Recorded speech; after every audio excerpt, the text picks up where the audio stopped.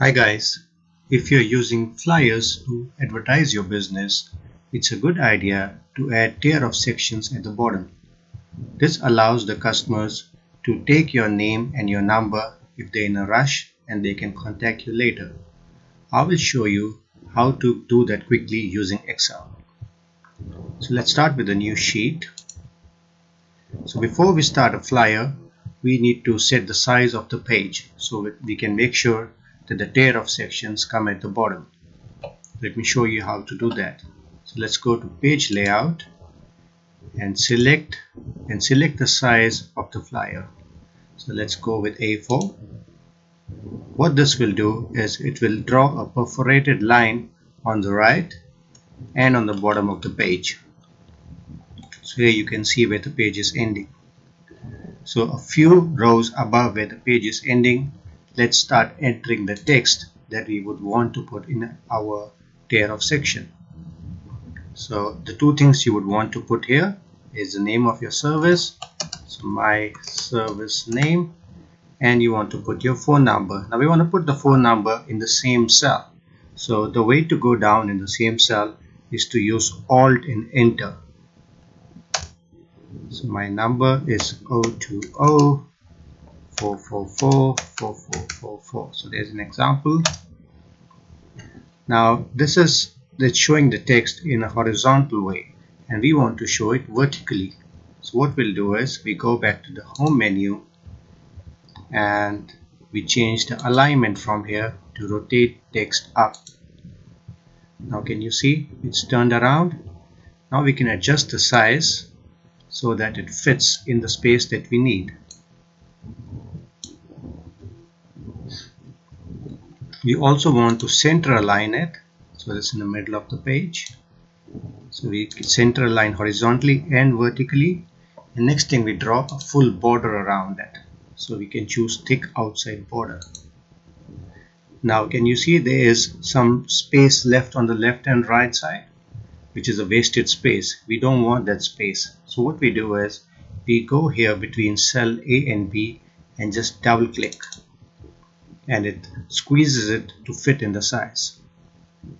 Now to copy it down to the other cells all you do is put a formula saying equals and the previous cell and the value gets copied now you can see it's still in the other format. We want it to be in the same format as the text we wanted.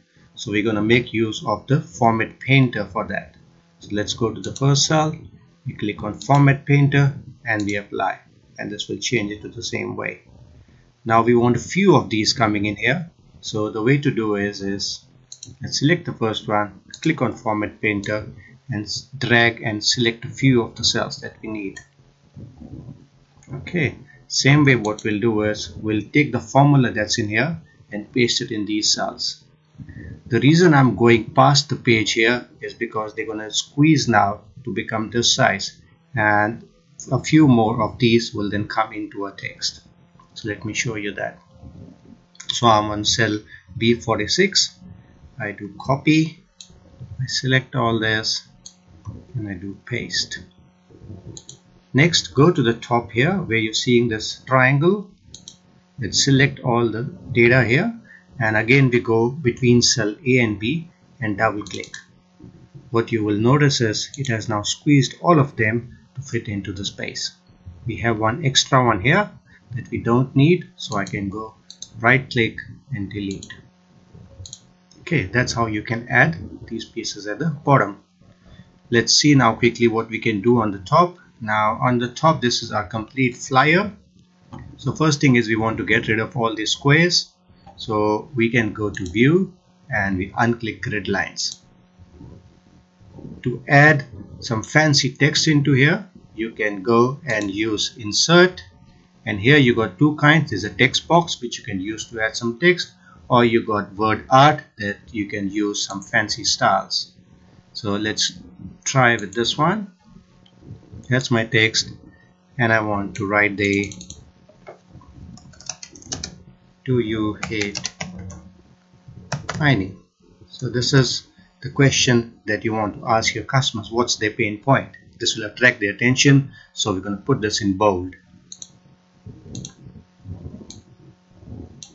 We can also include some pictures in here. So let me go here copy and we go paste.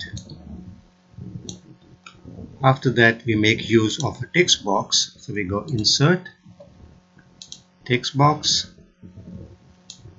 and then you say what benefit is your service providing. So we can say we can iron your clothes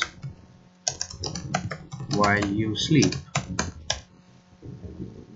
So let's select this text. And we go into format now and choose the color we want. So we could change the color of the, all the text to be more visible and we can also increase the font size. And let's make it bold too. Okay. So this way what you can do is add the different text in here. So let me show you an example. So here's one we have created. So we got text we got pictures.